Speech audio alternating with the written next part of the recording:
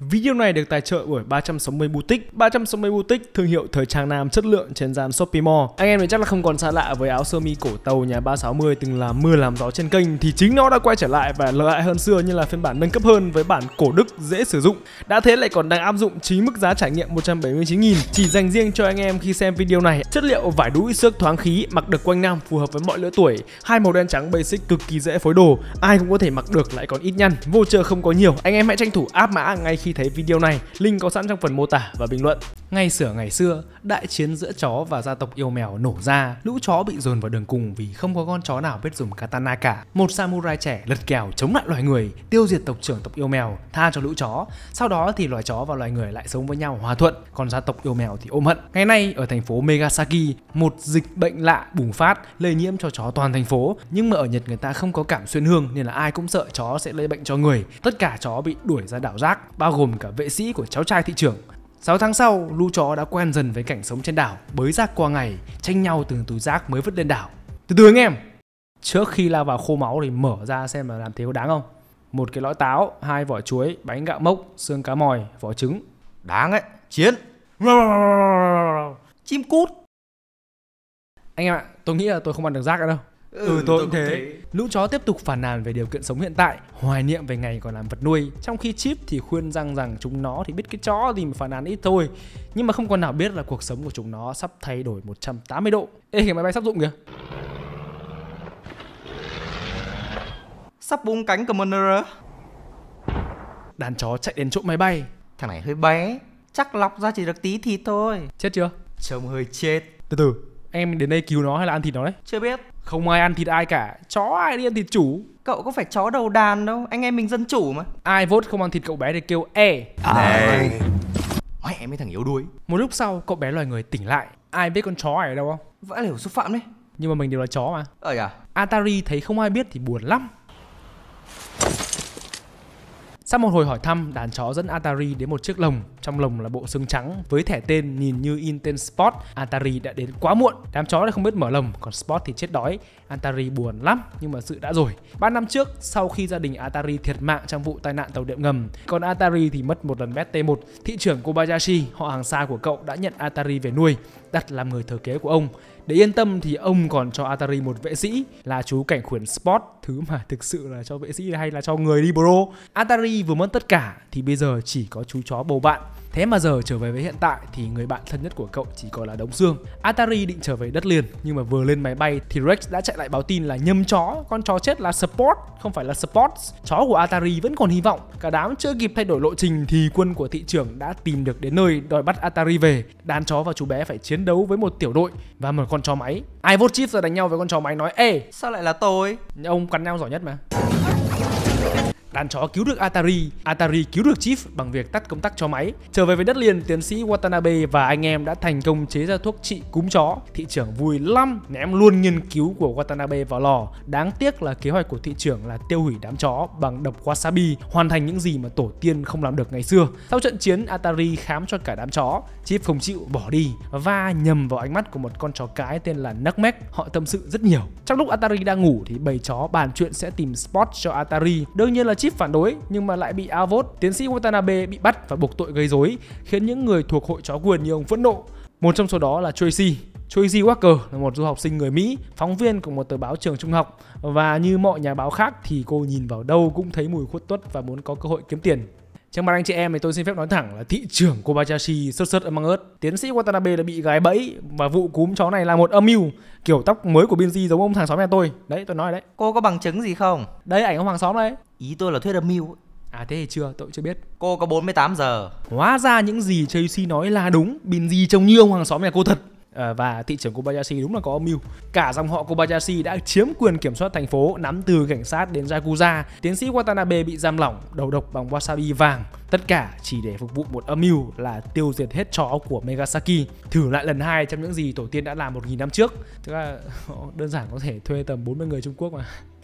Trên đảo thì Atari đang được đám chó dẫn đi. Họ gặp Jupiter và Oracle, hai con chó thông thái nhất đảo vì Oracle biết xem TV.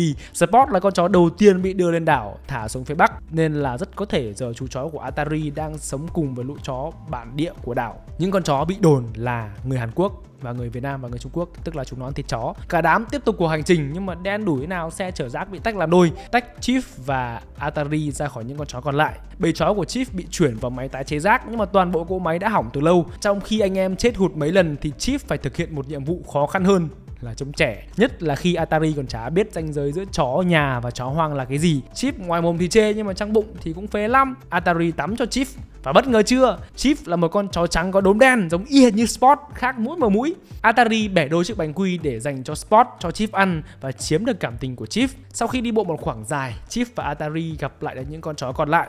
Giờ trông đen như Chip ô cậu làm sao đấy? Tôi được tắm. Mẹ tôi phải chiến đấu sống chết trong máy nghiền rác ông tắm à? Thế thì nhảy xuống đi. Nhảy đâu? Đây. Bao giờ? Bây giờ. Sao phải nhảy? Mấy con chó chưa kịp tranh cãi xong thì đường chân trời lại hiện lên bóng dáng quen thuộc, một con chó máy, rồi rất nhiều chó máy.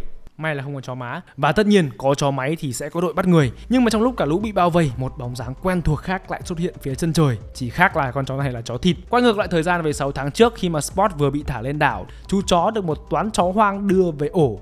Nghe đồn rằng chúng ăn thịt đồng loại. Mấy con chó ấy định ăn thịt tao à? Ai bảo là bọn tôi ăn thịt chó? Chúng tôi làm thế đúng một lần thôi để sinh tồn. Tên cậu ấy là Fastbo Lúc đó cậu ấy đã bắt đầu hôn mê vì đói rồi. Chúng tôi phải giải thoát cho cậu ấy Và cứu sống chính bản thân chúng tôi. Cậu dám đánh giá những người sắp chết thế sao? Chúng tôi đưa cậu đến đây chỉ để cứu cậu ra khỏi lồng thôi. Làm phúc phải tội.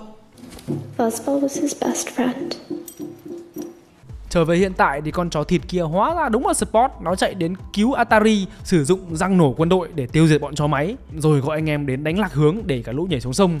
Đàn chó của Chip thì vẫn đang mắc kẹt trên xe rác. Ai vốt đuổi Chip ra khỏi bầy thì bảo Ê Spot và Atari tái ngộ trong dòng nước cống. Trái với kỳ vọng của Atari thì Spot đến đây là để giải ngũ. Cậu chủ Atari, tôi biết là tôi đã hứa bảo vệ cậu trong bất kỳ hoàn cảnh nào Nhưng mà hoàn cảnh đã thay đổi. Suốt tháng lưu lạc vừa qua tôi đã trở thành đầu đàn của một bầy chó hoang. Họ cần tôi để sinh tồn Và hơn hết thì tôi sẽ làm bố.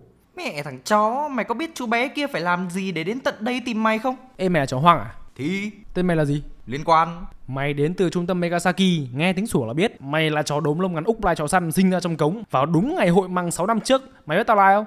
Không, không biết. Tao là anh mày, đẻ cách mày 5 phút.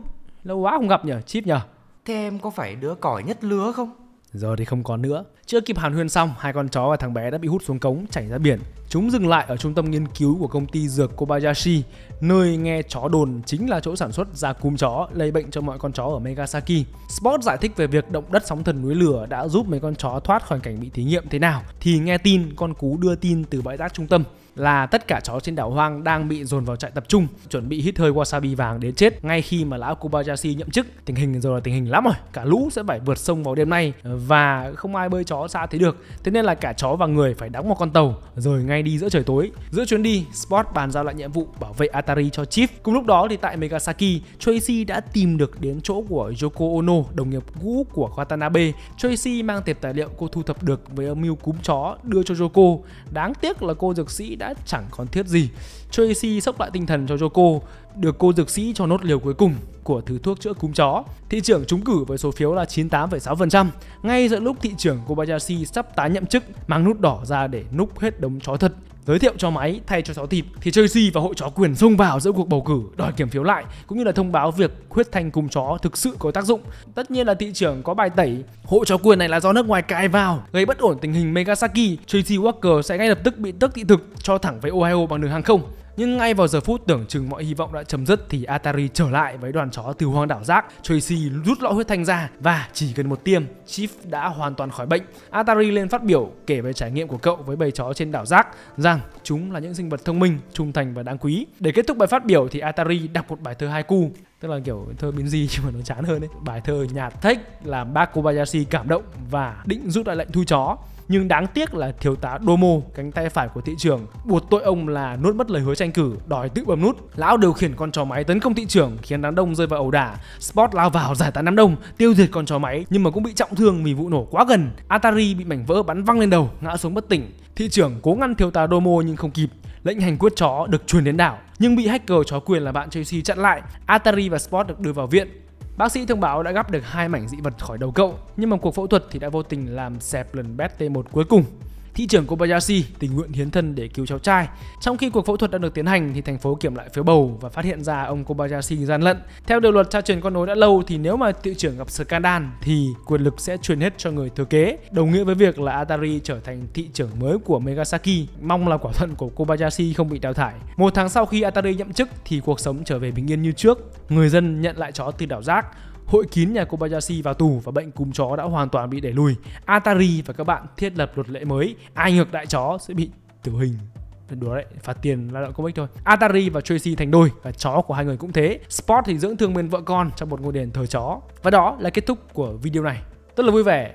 Và tôi còn quại. Đừng quên đăng ký The Reviewer vào group phim này hay phết nơi mà chúng tôi bàn luận về rất nhiều phim và live fanpage của The Reviewer. Xin chào. Và hẹn gặp lại